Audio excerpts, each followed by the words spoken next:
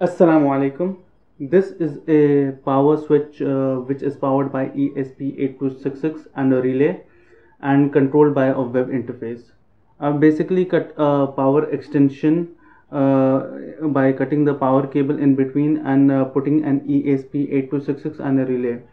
As you can see here, uh, there is a relay and this is the ESP 8266 and the, bo both the circuits are powered by this uh, Chromecast power adapter which is a 5 volt adapter. The Arduino code for the project uh, can be found in the video description.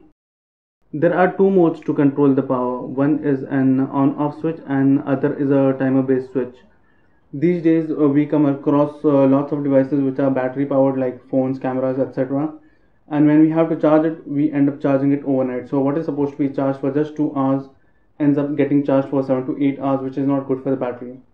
So with a timer based switch if our phone requires 2 hours of charge we set the slider for 2 hours and then the power to charger will be cut off after 2 hours. Here I've connected a fan to demo it. We will first power it on and off and then we will set a timer of 5 minutes and see. So now let's uh, try the power on off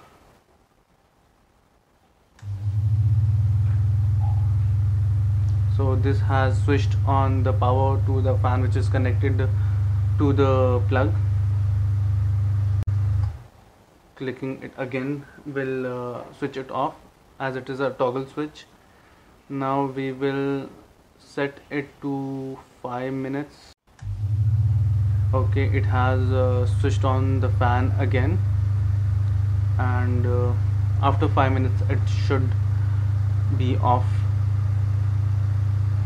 the maximum time I have set on this is 4 hours. So the halfway line is 2 hours.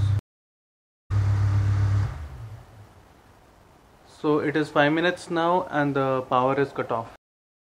The circuit can also be controlled by an IFTTT recipe. Uh, so I'll use a do button. And in this do button I'll go to the fan. And as my circuit is con controlled by a URL IFTTT side goes to this particular URL and it triggers the fan. So it's basically uh, a toggle switch.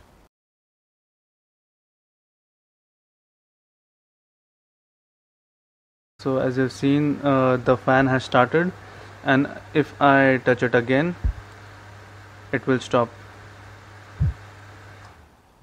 and the fan has stopped. Thanks for watching and do subscribe.